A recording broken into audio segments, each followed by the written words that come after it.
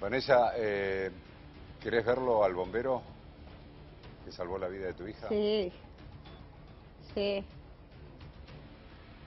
Vale. Daría todo por conocerlo. En un momento se va a producir ese encuentro seguramente. Nos decías que tuviste la posibilidad de hablar con él.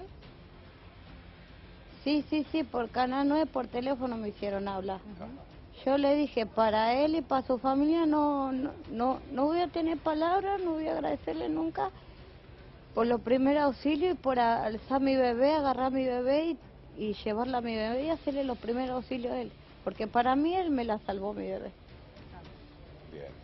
Bueno, seguramente ese encuentro se va a dar y le vas a poder agradecer personalmente eh, todo lo que hizo por tu hija y Sí, salvarle la vida a tu hija, el ¿no? retorno, pero bueno, eh, seguramente te vas a encontrar muy pronto con este chico de 15 años al que le estás eternamente agradecida, que eh, sí, le salvó la vida a tu bebé porque le hizo RCP en el patrullero cuando la trasladaban y en el momento esperando la ambulancia. Entonces, eh, si querés mirar la cámara y decirle lo que quieras a este chico. Se llama Juan. Sí, ya sé que se llama Juan Cruz. Ya te dije, no tengo palabras para él, para Juan Cruz. No voy a tener palabras nunca.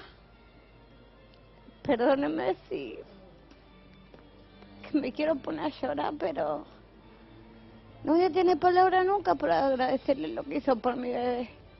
Siempre, siempre voy a estar agradecida para él y su familia.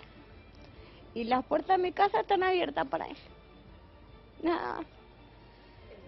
Bueno, en alguna diferencia- en, en algún momento Decía la diferencia de entre, claro, yo decía la diferencia entre este chico de 15 años que Sí. le salva la vida mía y eh, el adolescente detenido de 17 años que fue uno de los que venía en el auto y casi le arranca la vida a Mía y a Vanessa. Sí, el contraste allí. Bueno, probablemente en algún momento, Vanessa, se va a producir este, este encuentro con este chico de, de corta edad, de tan solo 15 años, que por acompañar a su papá a su trabajo sabía de estas técnicas de reanimación y pudo utilizarlas con Mía, con una chiquita de 7 meses, en una circunstancia en la que probablemente nunca se hubiese imaginado, pero que sí las pudo llevar adelante y destacamos, por supuesto, la importancia de tener conocimientos de estas técnicas para salvarle la vida a alguien, en cualquier momento y en cualquier circunstancia, circunstancia también. ¿eh?